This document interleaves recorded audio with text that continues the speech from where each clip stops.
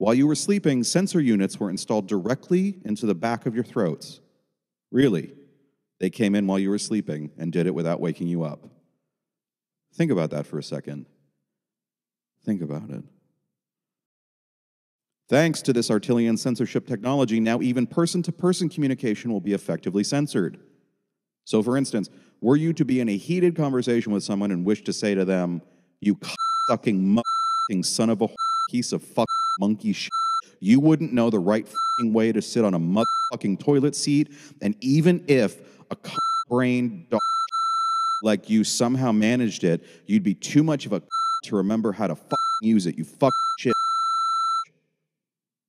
You could not, no matter how hard you tried. In fact, the harder you tried, the louder the beeps emanating from your throat would become. But don't take my word for it, comrades.